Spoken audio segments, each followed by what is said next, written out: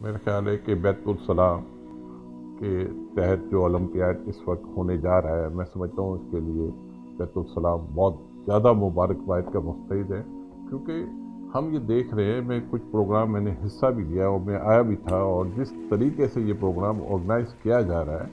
मैं समझता हूँ उसकी कोई मिसाल नहीं मिलती। तो पूरे कराची के स्कूल एक बैनर तले इकट्ठे होते हैं, उसमें स्पोर्ट्स के भी इवेंट होते हैं तालवी मैार के भी ऊपर इवेंट होते हैं तो मैं समझता हूँ कि जो काम इस वक्त बैतुलसलाम ने किया है,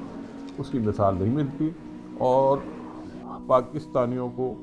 इस टाइप के प्रोजेक्ट को ज़्यादा सपोर्ट करने की ज़रूरत है। जो फ़ायदा हो रहा है, वो फ़ायदा ये हो रहा है